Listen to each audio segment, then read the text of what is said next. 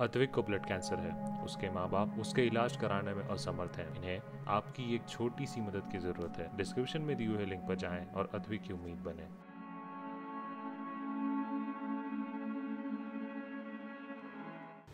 बिहार में विकास का दावा करने वाले लोग अब कहाँ बिल में घुसे हुए हैं?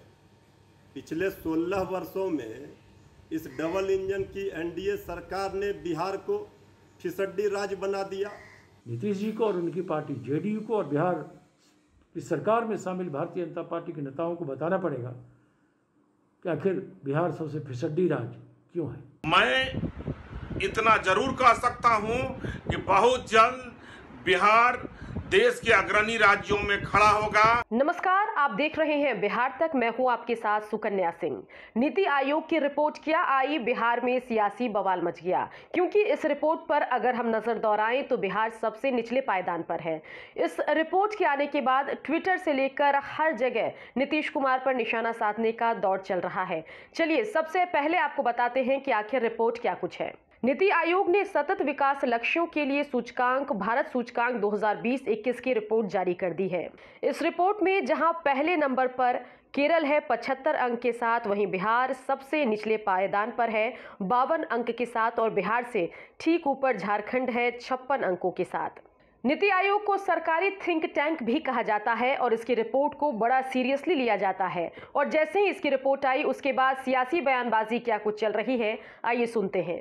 जवाब नीतीश कुमार जी को देना पड़ेगा कि आखिर वो कौन सा डेवलपमेंट करते हैं और ये लाखों लाख करोड़ का जो हमारा बजट होता है, वो आखिर कहाँ जा रहा है?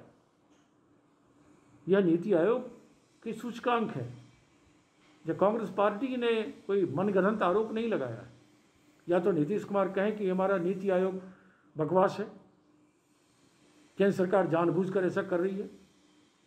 यह भी उनको बताना पड़ेगा। नहीं, जो सो डेवलपमेंट के नाम पर वो भ्रम फैलाते हैं और अपने बजटीय आकार के बढ़ने का ढोल पीटते रहे हैं, इन सभी सवालों पर नीतीश जी को और उनकी पार्टी जेडीयू को और बिहार की सरकार में शामिल भारतीय जनता पार्टी के नेताओं को बताना पड़ेगा। कि आखिर बिहार सबसे फिसड्डी राज्य क्यों है?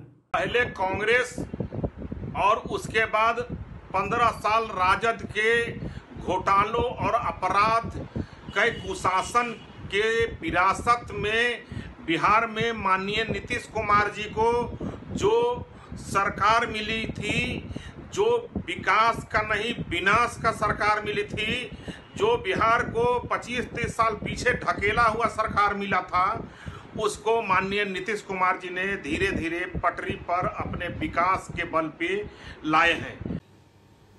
बिहार में विकास का दावा करने वाले लोग अब कहाँ बिल में घुसे हुए हैं? पिछले 16 वर्षों में इस डबल इंजन की एनडीए सरकार ने बिहार को फिसड्डी राज बना दिया। ये हम नहीं कह रहे, ये राजद आयोग का रिपोर्ट नहीं है। ये केंद्र सरकार नीति आयोग की रिपोर्ट है जिसमें कहा गया है कि बिहार अंतिम पायदान में है विकास के मामले में।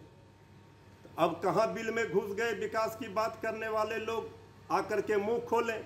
रिपोर्ट आने के बाद जहाँ हर ओर से नीतीश कुमार पर निशाना साधा जा रहा है। वहीं व्यंगात्मक अंदाज में लालू प्रसाद यादव भी नीतीश को बधाई देकर बहुत कुछ कह रहे हैं। आइए देखते हैं लालू प्रसाद यादव ने अपने ट्विटर अकाउंट के ज़रिए क्या कुछ कहा है।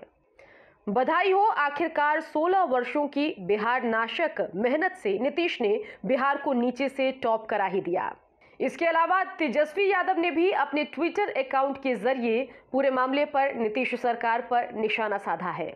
नीतीश कुमार जी की सत्ता लुलूप अधूरदर्शी नीतियों, गलत निर्णयों, अक्षम नेतृत्व के कारण बिहार लगातार तीसरे साल भी नीति आयोग की रिपोर्ट में सबसे फिसड्डी प्रदर्शन के साथ सबसे निचले पायदान पर है। पिछली रिपोर्ट की तुलना में बेशक बिहार ने सुधार किया है, लेकिन फिर भी दूसरे राज्यों से तुलना करें तो बिहार अभी भी सबसे नीचे है। देखना होगा कि जब अगली रिपोर्ट आती है, तब बिहार की स्थिति क्या कुछ रहती है। इसी तरह से बिहार की हर खबर हम आपको दिखाते रहेंगे। आप देखते रहिए बिहार तक।